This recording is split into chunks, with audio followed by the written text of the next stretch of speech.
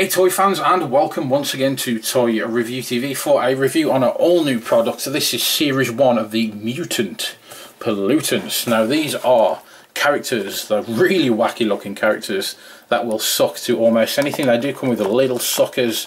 You can see that guy is sucking himself to the packaging right now. We do have three in this pack. This is a three pack and we do get a surprise mutant inside which is always a nice thing to have a surprise mystery character included. This will cost $4.99 and is made by Zuru. The age recommendation is 5 years and upwards. Let's take a quick spin. Love that picture on the rear. That is really cool. And the packaging is supposed to be the gas mask there. So the plastic is moulded along with the picture to make that one big picture on the back. So that is really, really cool. So let's take these mutant pollutants off this three pack and see exactly what they look like and what they can do. So here are all our mutant pollutants that we did get in this pack. We do get a collector sheet which shows you we get thermal radiation. These do change colour with temperature change. We get toxic waste which glow in the dark and we get biohazards as well and we can find the heavy metals. They are metallic and there are four of those to collect.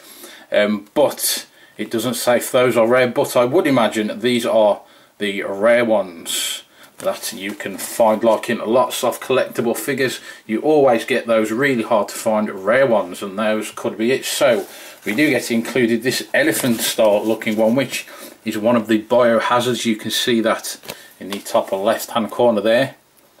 And it is very colourful. We get all these suckers over this figure. We get four five suckers included. And these will stick to all kinds of things. If you have a flat surface these will stick to them. And as an example I will get my mobile phone bring this in and there you can see this little guy is stuck to that. No problems at all so as you can see, these are very effective. They do work really well. And that is well and truly stuck on that phone. Now we do get glow in the dark ones as well.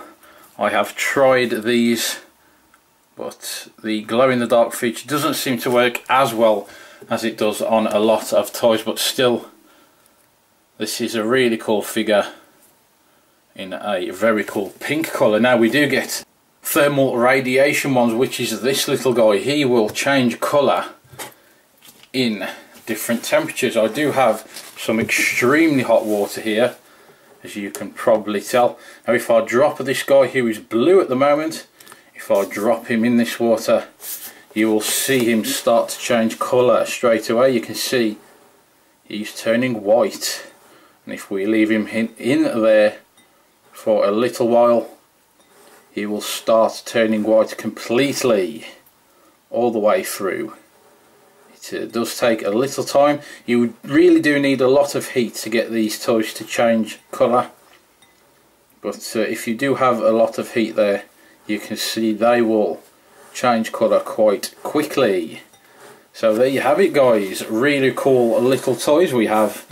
Our colour changing guy at the back and we do have our glow in the dark ones which do not seem to work very well but if it's really really dark they will work. Well guys, as always, thank you very much for tuning in to this review. Please do feel free to rate, comment and subscribe and I will see you all here next time on Toy Review TV.